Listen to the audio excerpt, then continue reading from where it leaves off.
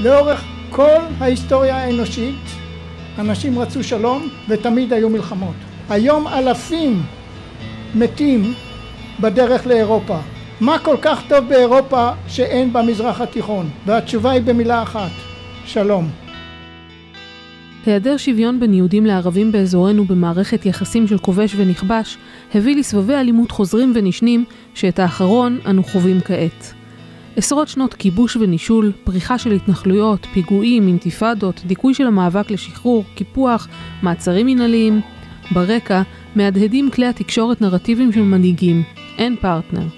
אין פרטנר. צריך להבין אחת ולתמיד, הטרור אינו נובע מתסכול בשל היעדר התקדמות בתהליך המדיני. הטרור, הטרור נובע מן הרצון להשמיד אותנו. מזה שנים אנחנו שקועים כולנו בשיח עקר שבו אנחנו משכנעים את עצמנו שאין פרטנר, אין ברירה, צריך להתרגל לחיות עם הסכסוך. We are 600 families who've all lost an immediate family member to the conflict. And we have the message of what is going to happen in the conflict. Nobody's talking about that.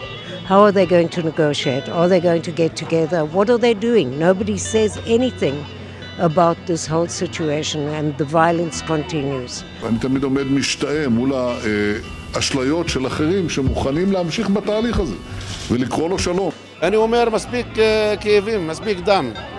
חייבים לפתוח את הראש, לפתוח את הלב ולהתקדם.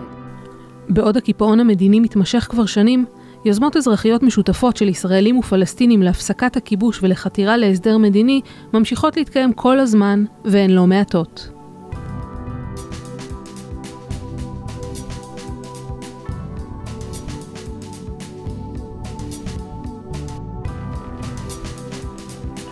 המטרה שלנו זה ליצור קונגרס ציבורי למשא ומתן, שנציגי ציבור ישראלים יפגשו נציגי ציבור פלסטינים לקונגרס גדול בעל כוח פוליטי כדי לנהל משא ומתן לשלום.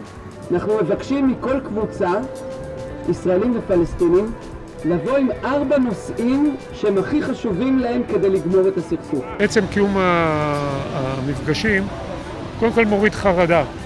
לנו יש חרדה מהצד הערבי הפלסטיני, להם יש חרדה מאיתנו. המפגשים האלה מלמדים או יוצרים איזה מצב שגם הם בני אדם. ואותו דבר, הם רואים אותנו גם כן פה כבני אדם.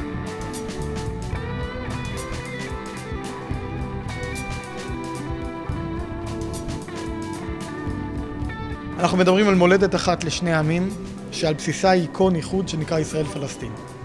שזה מודל של קונפדרציה. קונפדרציה תכיל בתוכה שתי מדינות סוברניות, ריבוניות לכל דבר, דמוקרטיות, ששואפות להיות שוויוניות בתוכן לכל האוכלוסיות שגרות בה. ישראל ופלסטין. אנחנו חייבים להסתכל קדימה, לתת כבוד לעבר, לתת כבוד לזיקות ההיסטוריות, למה שקרה לשני העמים כאן, למה שקרה על הארץ הזאת במשך השנים האלה, אבל לא להגיד שאנחנו צריכים להוכיח מי צודק בכל דבר. לא נוכל להתקדם בצורה כזאת. לא חושבת שהעמדות פה כל כך מרוחקות. יש קיצונים, יש קיצונים בכל צד, אין ספק. השאלה היא הגדרה, השאלה היא מי, אז לשבת בבית ולהגיד, עד שתיפול לי ההגדרה בדיוק מדויקת אליי, אני לא זזה. או לשבת בבית ולחכות עד שהצד השני יזוז ויעשה את שלו. לא, מה, אני אחכה להם? אני רוצה משהו, אני אעשה אותו.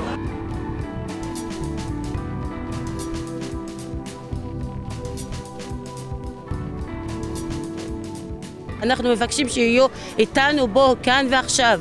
של ראש הממשלה, של אבו מאזן, של כולם, שיבואו כאן ועכשיו ויראו איזה תמיכות יש בו, איזה שלווה של שלום שיש בו, איזה קשר וגשר שיש בו. העם הפלסטיני שהוא תוקף והוא כועס לא מפני שהוא שונא, אלא מפני שהוא חוסר התמודדות עם הסבל היומיומי.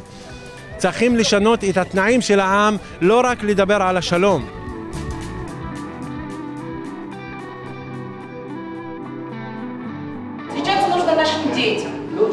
Да, лучше встречаться э, нашим детям, когда они идут в школу.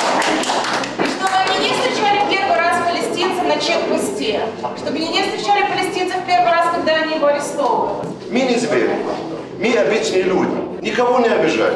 не, не сидят ни израильтянам, ни арабам. Они не, не преступники. Это простой народ, хочет жить. לצד יוזמות אזרחיות לשיח בין הצדדים, מתרבות גם פעולות אזרחיות לסיוע במאבק הפלסטיני לשחרור ובהתמודדות של הפלסטינים עם הכיבוש.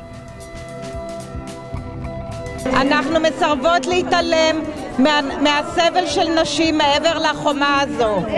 אנחנו מאמינות ביכולתנו לפרק חומות, את החומות הפיזיות שבינינו, ולהבטיח עתיד צודק ושפוי לנשים הפלסטיניות והישראליות. מפגש בעיקר בין ישראלים לפלסטינאים, אה, שיוצר בעצם אה, חוויה מיידית של אפשרות אחרת, שכן אפשר להיות ביחד, כן יש דברים משותפים, כן אפשר לעבוד ביחד. אם אין לי מתנדבים ישראלים או מאירופה, אני לא יכול לבוא לכאן לבד, בגלל שזה מסוכן.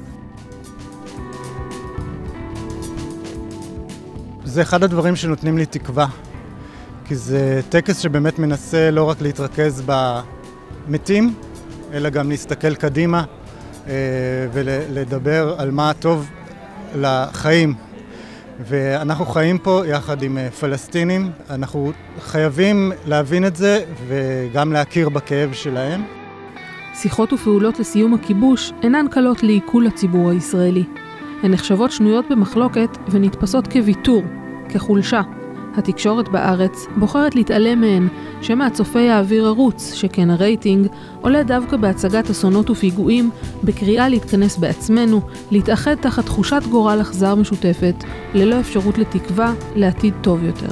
Тот факт, что мы здесь сидим, это доказывает тому, что есть возможность и встречаться, и поговорить. Это тоже доказывает, что нету расистских народов.